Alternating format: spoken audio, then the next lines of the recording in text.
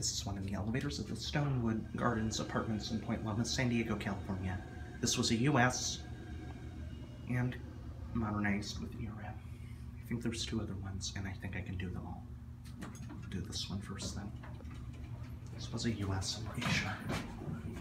Maybe a Dover. 1980. I could have had Dover tradition. No, nice US.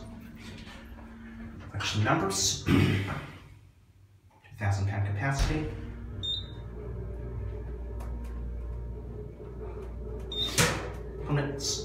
Expired for August 19th, 2017. Lovely. Capacity is 2,000 pounds. Controller pump and motor have been replaced. Alright. That's, yeah, that's, that's this way. It's still not good. There's gonna be two other identical ones. Um, not worth another ride. Here's a cap view. Don't like it. It's like a parking deck. Satin's kind of cool, but um, could have stayed original. Watch the button go out. We're down on one. My phone died uh, when another elevator in Mentone Street became available. Um, I might go back and see if I can do another one or two. But I don't know. I'm not really that important. We'll see.